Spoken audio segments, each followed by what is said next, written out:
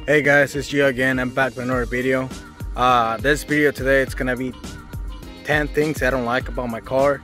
Um, I was thinking about doing 10 different uh, things for uh, just the, the model itself, the car itself, but I couldn't find enough. So I'm gonna do like mix with things that on this car, like specifically on this car, not just the model. So the first thing they um going the, the, one of the first things I don't like is the, the doors. So I came from a four door, like my previous four cars that I owned, they were four doors. This is my first two door, right? But the only thing I don't like with this car is the doors are long as hell. I don't know, if I'm opening right now, it's gonna close itself. But it they're pretty freaking long. Like, especially here in Japan, it becomes really annoying because when you open the door and there is like a car next to you because the parking lots are here really small this is like the most I can probably open it and I had to like squeeze out of the car till usually my feet get stuck around right here when I'm trying to like get out. Um, like cause this is probably the most the most I can open it. But you know it can open a lot.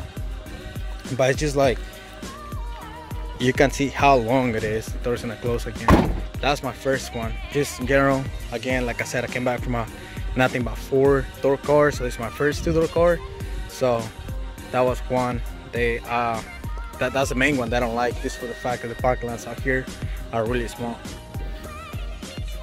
The second thing believe it or not it's gonna be the spoiler or the wing however you guys uh however you guys know it. So for this one the size is good you know uh, it's like how it's supposed to be on the GTR because how the GTR wing. The only thing I don't like of this is like you know from the back it looks fine like perfect size but whenever you are driving from the inside which i'm about to show you guys um, and i'm trying to look back i can see i can see the car. I can see part of it. But if trying to look back you won't be able to see who's driving the car basically. So you know when you can turn like when you're driving and you look through the mirror or either the car you can see like the car and the driver. And with this with this wing I, I never be I'm, I'm never able to see the driver. I can only see the, the bottom part of the car and the roof of the car but all the windshield part it gets covered by the wing. That's my second complaint of this car.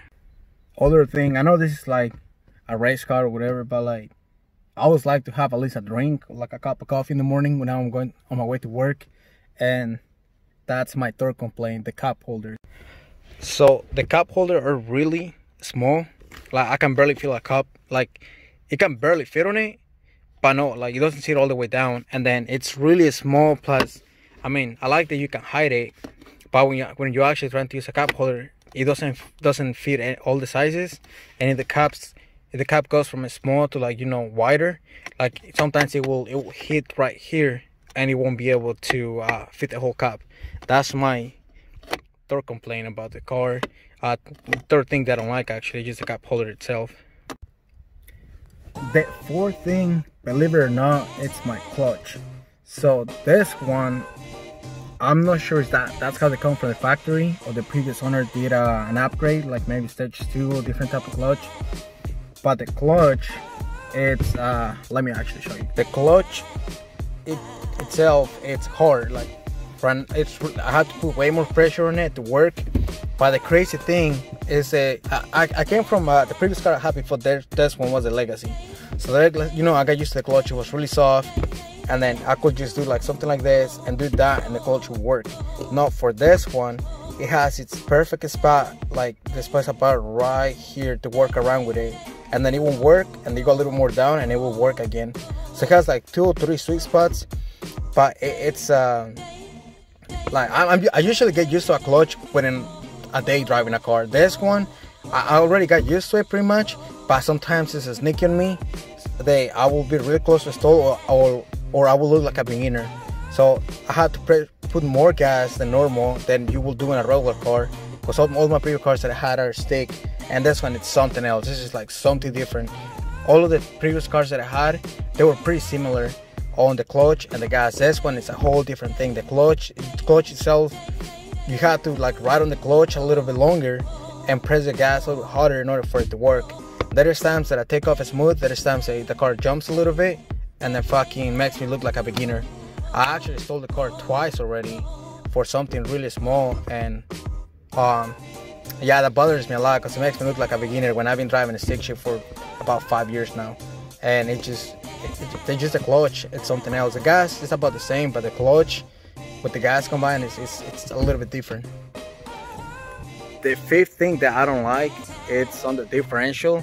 Actually i don't know much about drifting you know. I like watching videos of people drifting and shit but like me myself i don't i don't know anything about drifting right? So when i first got the car whenever you take like take like really short or really like small turns and like instead of taking a wide turn you take like a really really short one or like just just by the time when i'm trying to park because i always like to back up when i'm parking.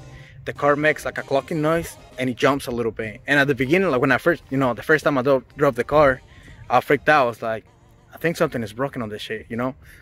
But i met some people they actually like know about drifting like drifting and I explained them exactly the exactly how like you know how it sounded. And some some people actually like like before I even told the problem they hear my my car when I was uh, parking and apparently what it has is called a LSD for uh, the differential which is like limited LSD I can't fucking remember that. It's limited something differential. Uh, so what it does is the the wheels I think I will somebody tried to explain it for me. Let, um, correct me if I'm wrong right? Because I don't know anything about drifting. But I think what it does is the, the wheels rotate at different the wheels will rotate at a different speed each of them so sometimes when I'm trying to take a when I'm trying trying to take like a small turn so if I'm turning like this way this wheel will rotate more than the outer wheel. So sometimes I'm trying to take a to take a right turn or a left turn whatever but whatever the inner wheel is it's gonna speed more like sort of like speeding a little bit more and then that's when the car starts jumping a little bit. Like I said, the first time I freaked out, but once people explained me actually what it was, they told me, oh, it's LSD, it's just for drifting, blah, blah. And then they knew about it because my parking brake, I will show you guys actually, my parking brake, it's a little bit different. So this one, in order for it to work, so I pull it down, right? And then if I pull it up, it won't hold. I have to, I have to, let me show you guys if I can more. I have to pull this one forward and pull it up in order for it to work and push this one down and it will work it, it will work. But like this it won't it won't stay like a roller parking lot right? So that's when they were like yeah this car was definitely meant for deep and i believe from the previous owner. And actually the car is it's not bad itself in shape. It's actually pretty good. The engine is pretty good. So I, am pretty sure the previous owner actually took good care of the car uh somehow some way. So the number six that I know already mentioned in the previous video, but it's the um, again I was gonna specify on the whole uh, on just the car itself when whenever they come stuck, but I didn't find enough things that I didn't like because I actually like this car a lot. So I'm I'm taking I'm doing everything that comes out of the market with the car and everything, you know. So number six, it'd be the shift knob and the steering wheel. I don't have anything against them. They like I like they're pretty cool looking and everything.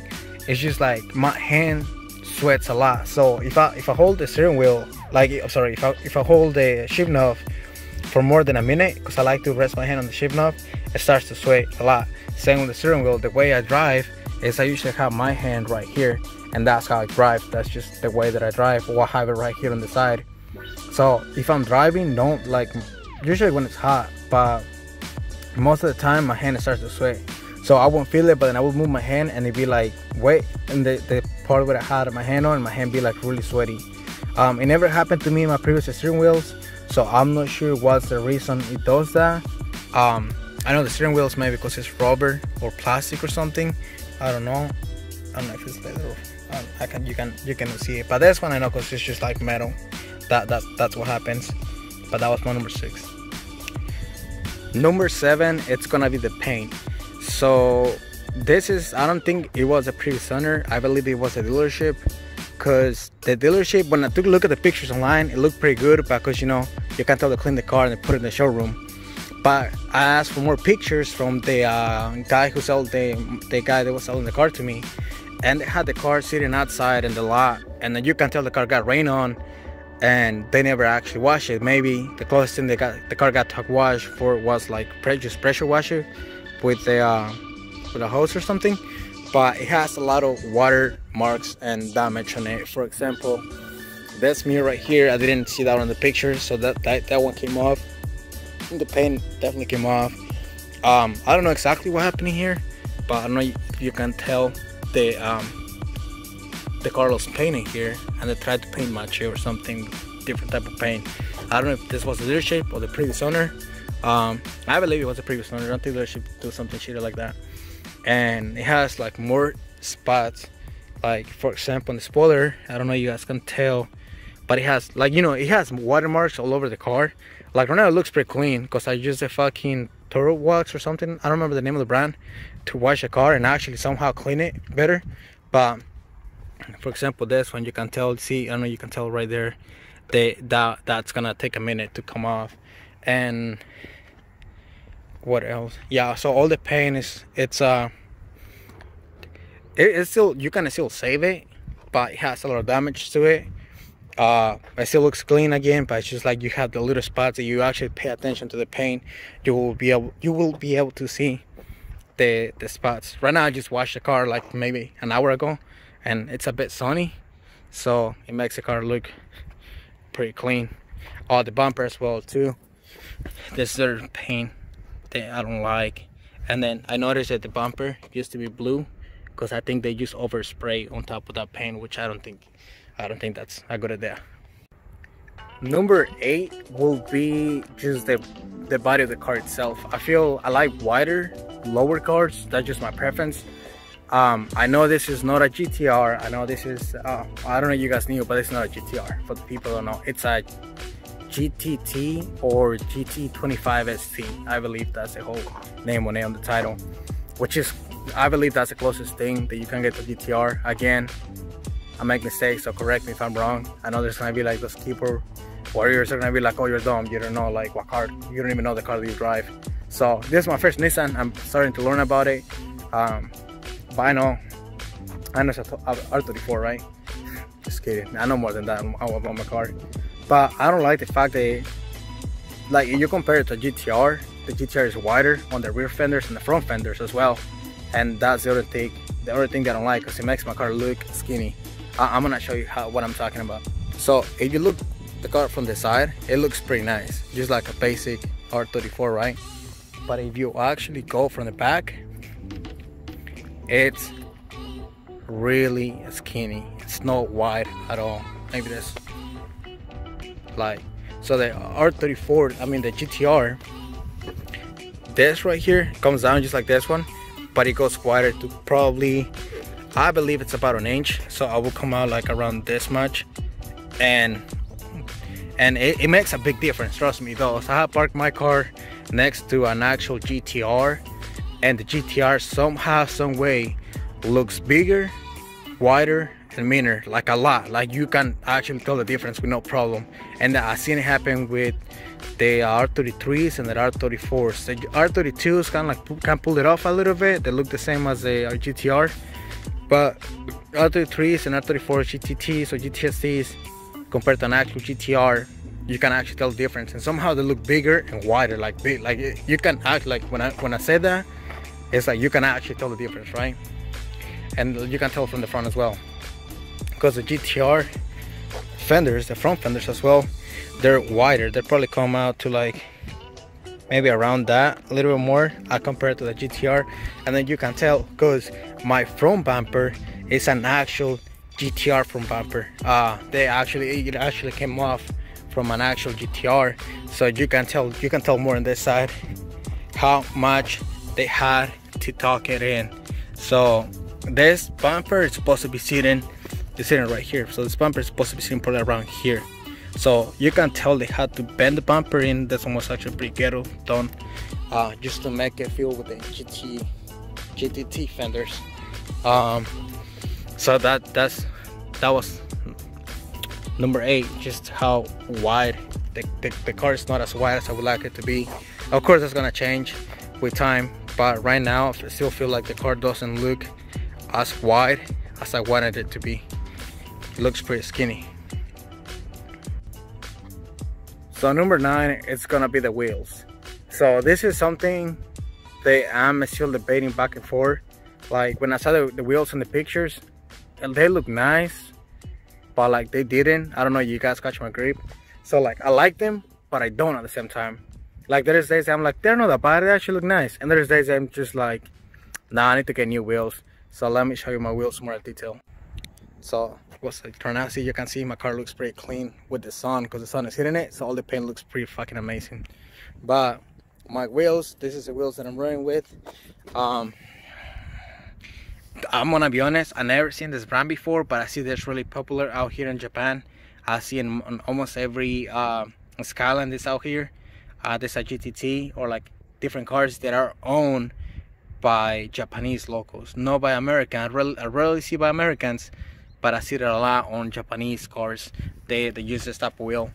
Uh, apparently, some dude I was talking to some dude about it. He knows about them, and he says that the brand is pretty popular. Um, the people actually look for the brand so this is the wheels that I got I don't know if it's gonna clear a little bit or not but this ones are 17s in the front and 17s in the back and in the front and 17s in the back as well.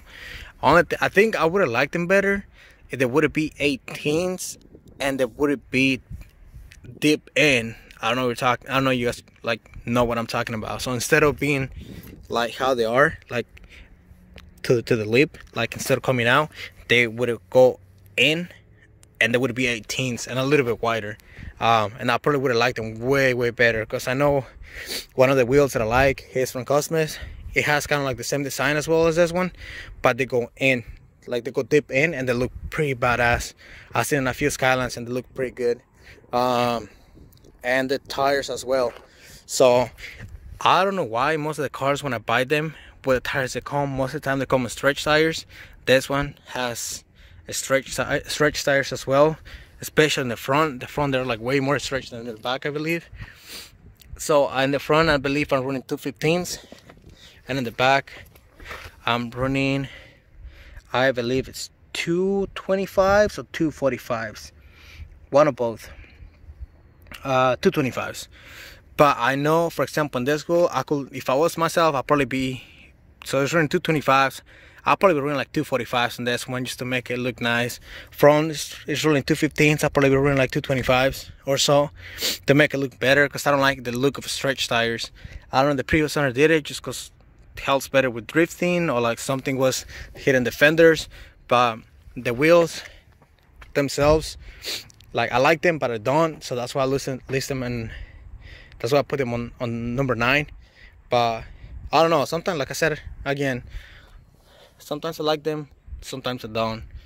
Uh, but they're not bad. And last one number 10 will will be the seats um there is really nothing wrong with them. They're actually comfortable.